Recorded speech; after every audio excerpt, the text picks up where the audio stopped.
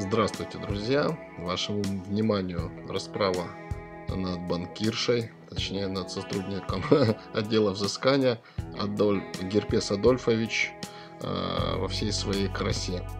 Э, такое изящное опущение сотрудника банка, это называется. Итак, слушаем.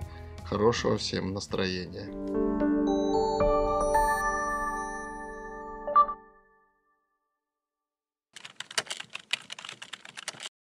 Алло. Добрый день.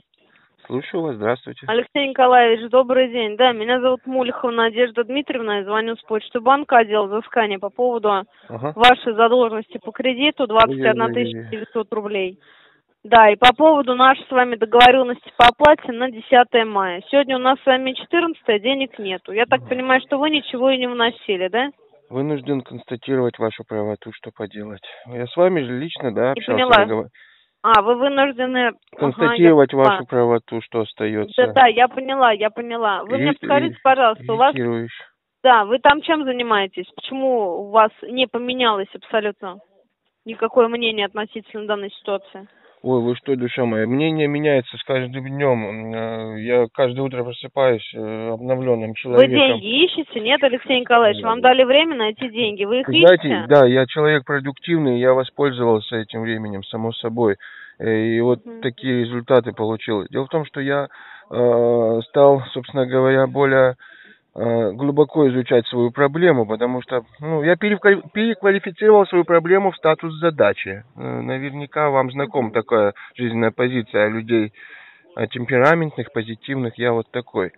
И к своему удивлению, радости, я обнаружил, что платить в банк не обязательно, если нет такой возможности, а уж тем более отдавать туда последние деньги.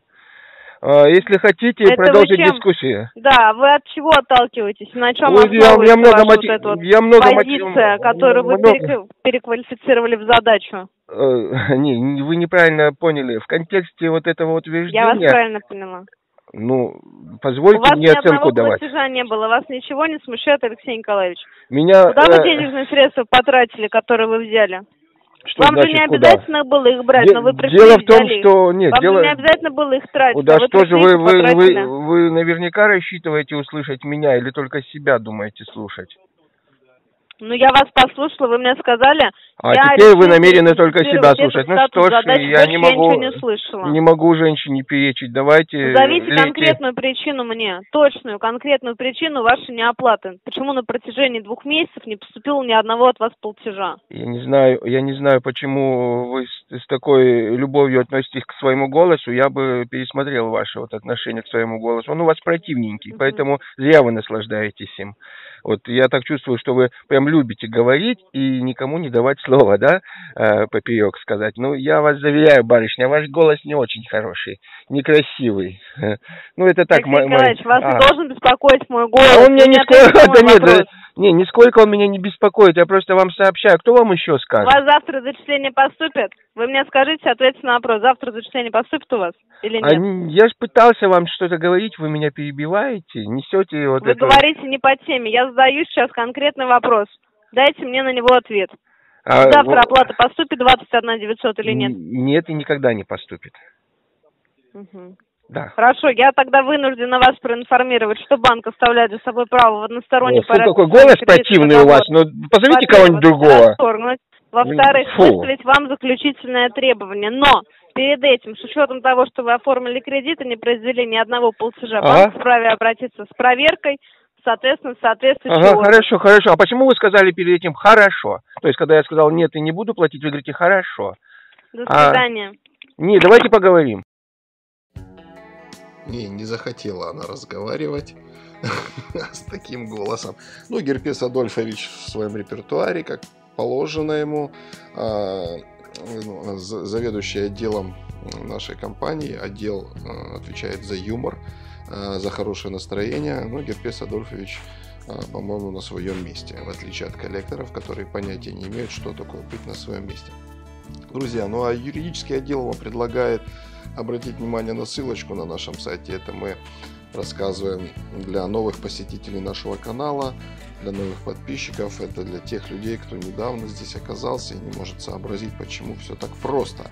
на первый взгляд. А действительно, и не на первый взгляд, и на последующий взгляд все просто, если этим делом серьезно заняться, и все ваши долги можно превратить в только лишь воспоминания. Причем воспоминания, которые будут доставлять вам а, ну, неприятные ощущения с точки зрения того, что вам будет стыдно за самого себя.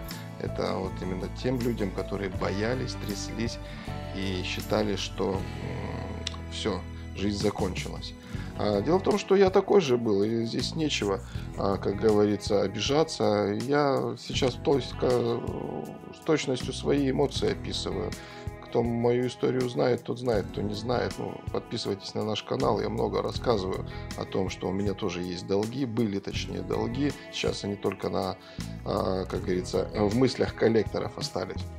А в законном формате Э, все давным-давно уже на тех нужных местах, которые, собственно говоря, в приоритете для меня. Ну и вы тоже можете все свои кредитные проблемы решить. Посмотрите видео на нашем сайте, поймете, как это все делается.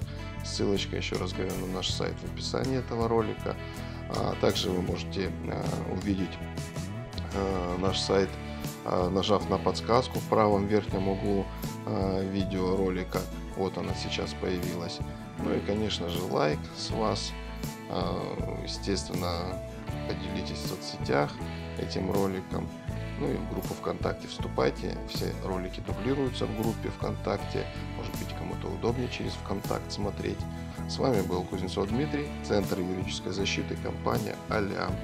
До свидания. Да, кстати, ссылочка на группу ВКонтакте в описании ролика тоже есть. Пока-пока.